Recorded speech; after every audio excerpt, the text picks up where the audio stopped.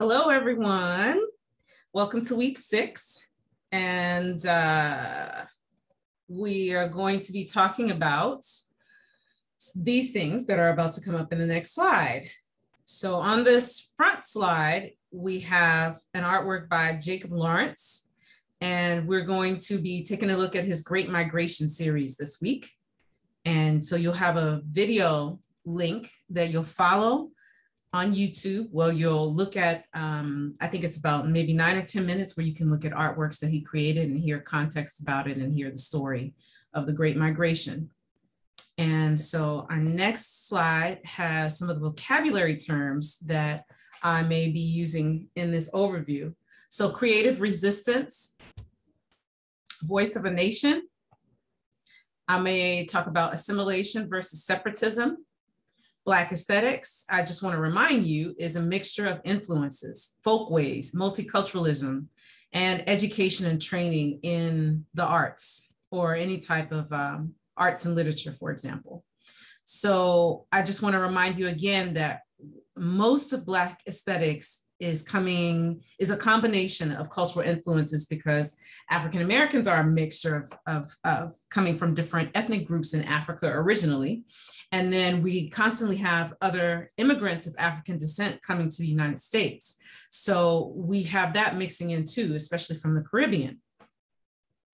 And then we have a mix of cultures here in the United States. And so we, Black people are in proximity to other, other cultures where they can take in and exchange and mix. And then we have Black people who are actually going to get training in the arts for different things. And so that education and training, the formalism is sometimes mixed with these other influences, which still creates a Black aesthetic. And if you want to take it another step further, it is an aesthetic of Africans and African continuity, an African principle is addition versus subtraction or minimalism. Now, there can be those things that exist, but in general, there is a West African principle of adding, taking in from everywhere anything that's great, anything that's excellent, and layering it, mixing it together to create a new type of art form or aesthetic. Other terms freedom, dreams, pride, dignity, respect. And again, I already said the term migration, and I'm saying it again. You're going to be looking at a film this week by Oscar Micheaux. Uh, we will consider him a voice of the nation. How does an artist or a creative person become a voice of the nation? That's such a big title. Does someone set out to become that? Do they just they just make something and it just it has its finger on the pulse of the times and then they become a voice of the nation? These are questions. Uh, bring your gifts to the movement. So when we talk about creative resistance, even the I heard the founder of Black, um, I'm sorry, not the founder, but the leader of Black Lives Matter LA say just a few days ago, whatever your gifts and talents are, how do you bring them to the movement? What are your gifts and talents? What can you bring to the movement? Everyone has a way to serve. And so African Americans have historically fought for freedom, freedom using strategies of creative resistance. And so that includes the arts. So the, the film that you're gonna watch is the earliest surviving film by an African-American director, filmmaker. He self-financed his films. They were not studio productions. And so there's always been a tradition from the very first films um, being made by African-Americans of independent Black filmmaking. And so, uh, so uh, the film that you're going to watch is called Within Our Gates. And it is an act of creative resistance in the sense of it being a response film to Birth of the Nation, which had uh, its main Black characters being played by white people in blackface. So they, you know, smeared stuff on their face to look Black.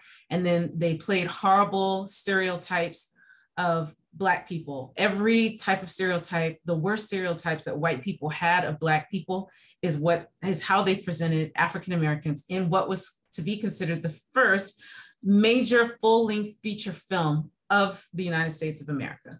And even 15 years ago, you could still find this film on the top 100 greatest films of all time from the United States. So you'll have um, a 10 minute video introducing you to what Birth of a Nation was about and then how Within Our Gates responds to Birth of a Nation, and just how terrible it was. It was so terrible, in fact, that KKK membership increased significantly, and so did the killings and lynchings of Black people throughout the United States of America as a direct result of the film.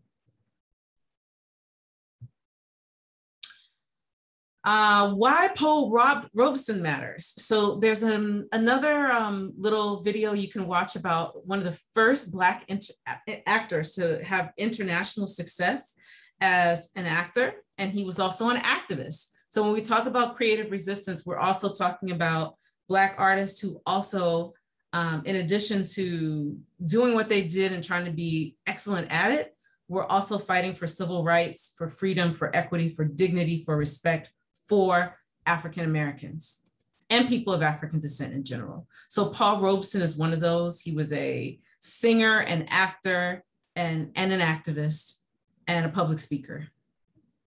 He um, kind of got blacklisted because he was sympathetic to the Communist Party and the Socialists.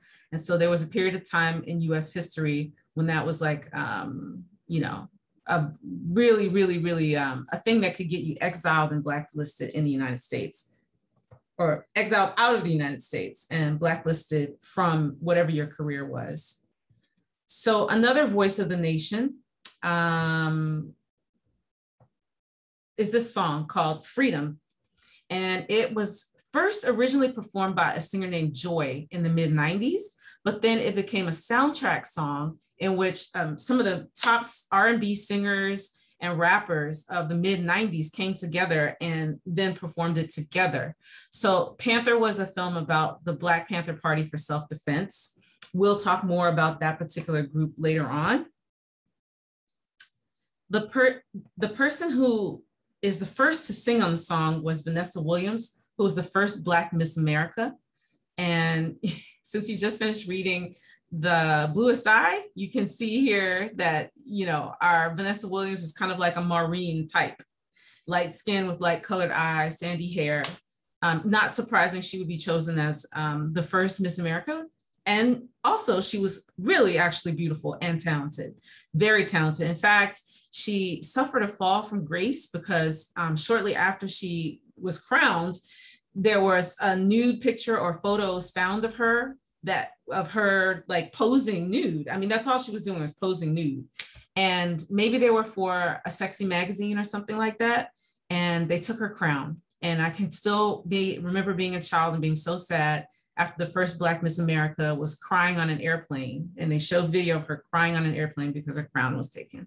And then, you know, that's hard to swallow that we had a first lady who just came out of office who had nude photos all over the internet and still became the first lady of the United States.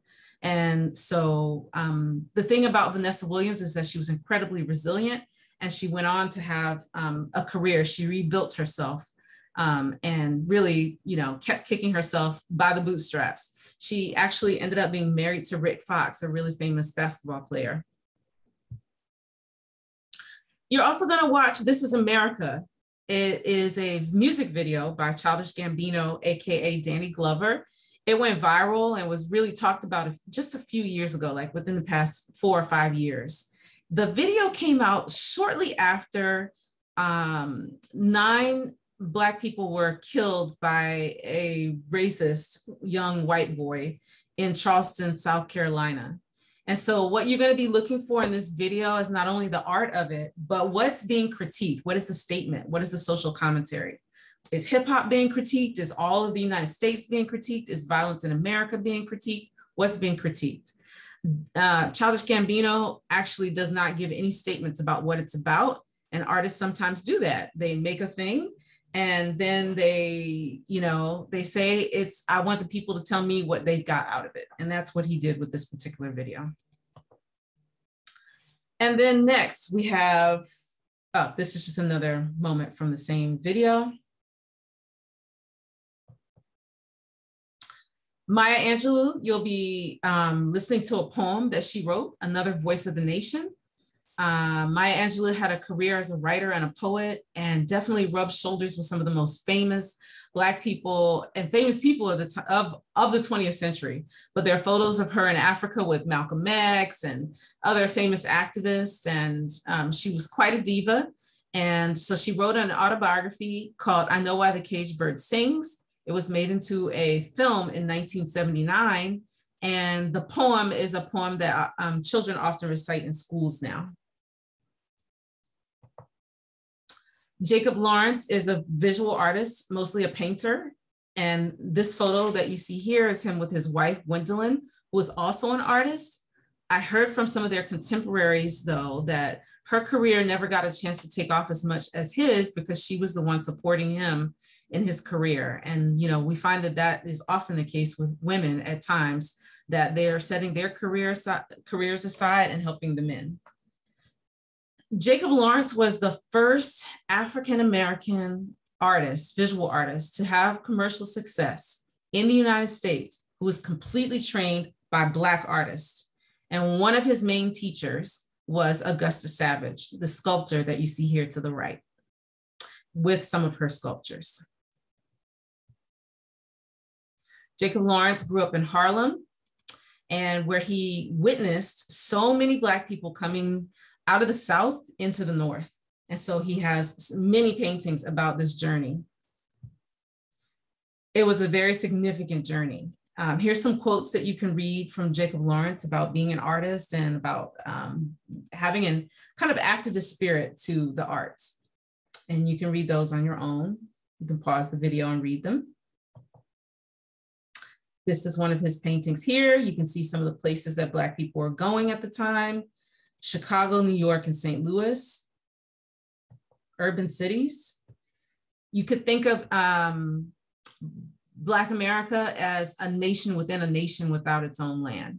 So Native Americans have reservations, but Black Americans never had land of their own in a way um, in that that was officially recognized by the United States of America pretty much. We can argue that point on a couple of maroon, a few maroon settlements, but that's a whole other subject. In general, there was no large amount of land that was set aside specifically for Black people to live on and conduct themselves as they would like to.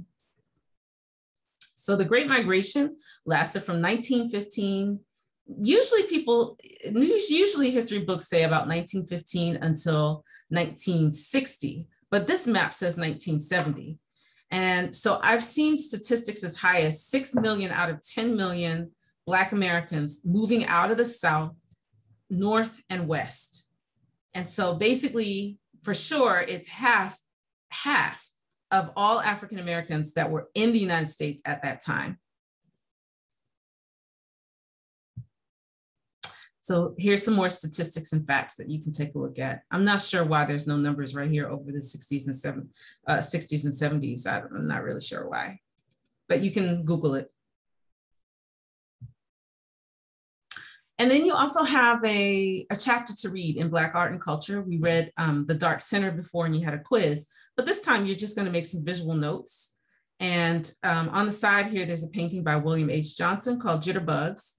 And you can see that the woman's face is black um, and her hands, but that her legs are light. And the reason why is because at the time of World War II, there was a shortage of, I can't remember, some type of material that was used to make pantyhose.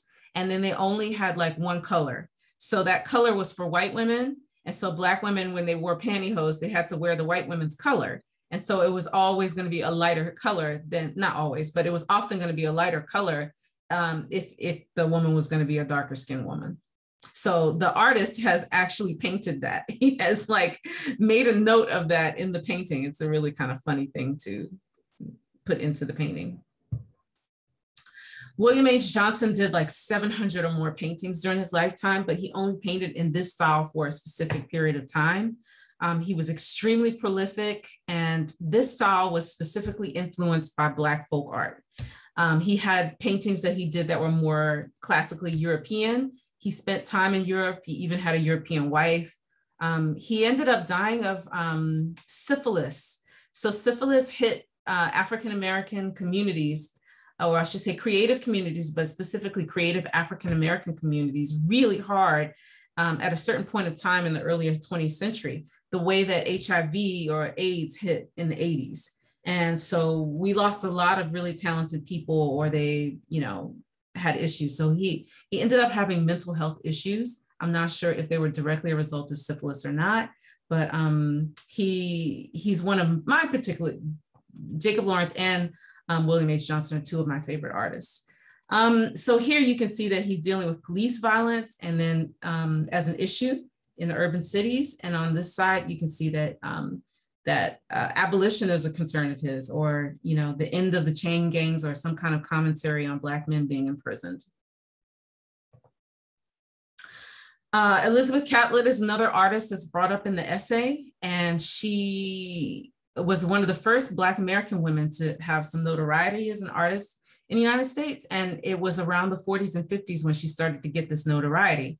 She was also sympathetic to the communist movement, as many of our activists and artists were who were African American. Part of the reason why is because they saw such a deep connection between class oppression and race oppression. And so they were looking to the communist movement as possibly a way to um, combat both and transform American society for equality for Black people. It's almost impossible to have this type of equality without also challenging the class system, the caste system. So um, she went into exile into Mexico and took a husband there. And I talked about her before. Her grandchildren, two of her grandchildren uh, live here in the um, in the United States, and um, one of them was recently on Top Model. So here's a quote of hers talking about creative resistance. And she became a voice of the nation also. Rose Piper is another artist that's mentioned in the chapter. And I have to admit, I never heard of her until reading the chapter. So I learn new things constantly also. And then there's this other problem, which is a problem throughout history, which is some Black artists just don't get written about. They don't get written about. You don't get, you don't learn them. Maybe some of you have come to this class like, wow, I never learned these things before. How come I never knew these things? Well, I'm the age that I am. And I'm still learning things too, and angry that I never got a chance to learn them before. So, um, reading the chapter, I discovered a new artist that I hadn't heard before. So, um, her name is Rose Piper. And so she traveled through the South and won some awards and some fellowships to be able to travel and to make artwork. And she was extremely inspired by the blues and wanted to bring the blues as an aesthetic into her work. So you can see in this particular painting right here that there is a sort of sad blueness that's like literally in the painting. And this painting was done in the 80s or 90s. And you can see a totally different flavor to it, a totally different flavor and style. Um, she spent some time as a painter, but her, her main occupation was a textile designer, I believe. And she did some other things that were creative and artistic, but not as a fine art painter, but she came back to it a little later in life. Um, and what what do artists dream? What what are the dreams of African Americans? And so how can we interpret them? Are they always political?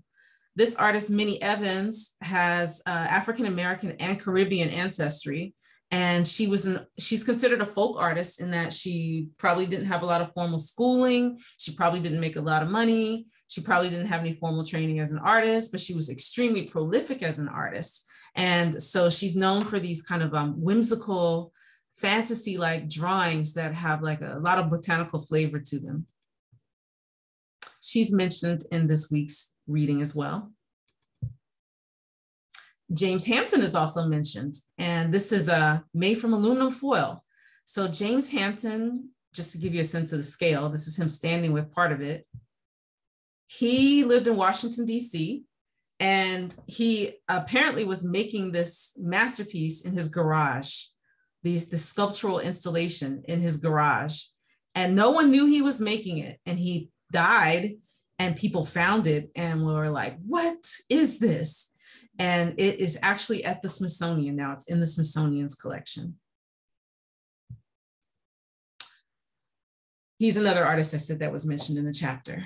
And then I think we're getting to the end of the slideshow. It's a short one this week. Um, I'm bringing Zora Neale Hurston back and a quote by her. The whole matter revolves around the self-respect of my people. How much satisfaction can I get from a court order for somebody to associate with me who does not wish me near them? So when we talk about these aspirations of freedom, which you're gonna be looking at and thinking about in all the material that you're assigned to interact with this week, um, also understand that sometimes there's conflict with black within black thought not everyone thinks the same not everyone believes in the same strategy or people who may have different ideas about certain outcomes or strategies so Zora Neale Hurston, who you watched, you have uh, you watched Their Eyes Were Watching God, and she wrote that in the novel that it was adapted from. She was actually one of the most famous people who was not so much on the bandwagon for desegregation. So it wasn't so much that she was not on the bandwagon for desegregation, but she felt that there was more to value to getting equality within black things like black schools black neighborhoods having black black everything get the resources that it needed to be equal to whites. So it's not that she felt that black people and white people should not mix or be equal but she felt too much emphasis was being placed on black people entering into white spaces and so um, i've included a reading where you can kind of hear about this point of view because mostly when we talk about civil rights, we only hear about the assimilation side that Black people wanted to assimilate into the mainstream, that Black people wanted what white people had, that Black people felt that in order to be equal, they had to be with white people. But there were Black people who did not believe that. And so I want you to also see and hear um, some other opinions on the subject. There are there are definitely data out there that shows that um, for this particular era compared to the segregation era, there were more Black owned businesses. Some people, some scholars argue that Black people were doing better overall because we had to go to our own banks, go to our own businesses, be taught by ourselves, and that it was a much more caring and nurturing environment for all Black people. So, um, again, that's just something that I want you to be thinking about. And it's just an introduction to the idea. This is, I think, the last slide in the slideshow, and just want to bring about the word dignity. So as we transition from the, the essay that you're, I mean, I'm sorry, the chapter that you're reading on art, Black art is 1945 to about 1960. So that's what it covers as far as visual culture and the strategies that creatives had and how they were going to present Black people to the world. So now we are kind of like getting to the 1960s, where things radically change and shift. So we can see here a line of Black men wearing the sign, I am a man. And there's one sympathizer, I guess, in there, or some sympathizers who don't have on um, a, a sign that says, I am a man. And we also see guns pointed at all of them. And so, with that note, I think that's the last slide of the week. And I hope you enjoy all of the material that you're going to see.